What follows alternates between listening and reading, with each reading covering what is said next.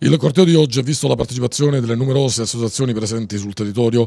C'erano anche Confocommercio, Confartigianato, Confesercenti, Casartigiani del Golfo di Gela. Gela sta subendo un danno enorme. Noi infatti abbiamo preteso che si chiamasse Vertenza Gela e non Vertenza Eni perché è una vertenza che riguarda tutto il territorio.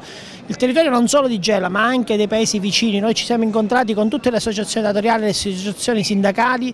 Abbiamo fatto quadrato dietro questa situazione e speriamo Speriamo che chi ha le colpe, cioè in questo momento è ben individuato il Ministero dell'Ambiente, rilasci immediatamente le autorizzazioni che servono per poter iniziare la riconversione della raffineria, perché diversamente la situazione eh, diventerà drammatica anche perché anche i nostri associati saranno costretti a licenziare il proprio personale. Siamo tutti qui a manifestare e a gridare con rabbia anni e anni di vacazio politico che abbiamo avuto perché non si è saputo oh, portare avanti una vertenza che poteva portare sviluppo al territorio. E oggi siamo qua per manifestare assieme ai lavoratori perché vuoi o non vuoi lo stabilimento è quello che fa, che fa il reddito a Gela, c'è poco da fare, perciò bisogna essere tutti combatti. Se falliscono le imprese automaticamente gli operai io non lo so che cosa facciano, quindi solidarietà agli operai, le imprese, le imprese sono rappresentate, noi ci siamo ma a questo punto eh, io direi di togliere sia le sigle e tutto quanto, è l'urlo della città, dobbiamo salvare questa città. Rocco Fisci, rappresentante degli insediati della zona industriale. L'unica alternativa è, è avere dei risultati eh, a livello nazionale